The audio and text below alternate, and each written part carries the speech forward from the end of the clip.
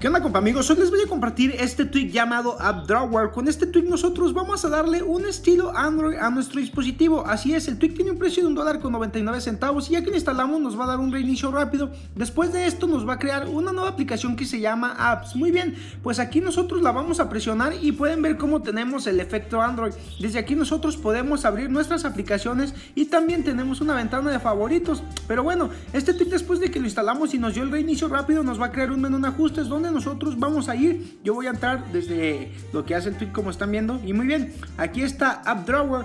Como, como pueden ver tenemos Hidden App Drawer Icons. Nosotros podemos eh, ocultar las aplicaciones y también podemos seleccionar aquí aplicaciones favoritas.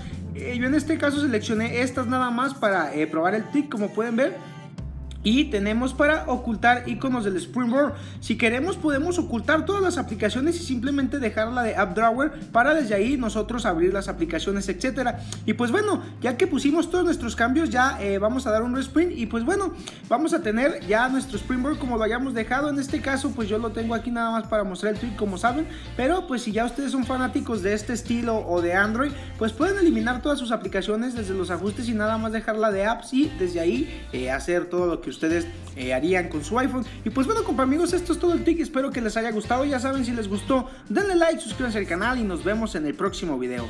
Chao.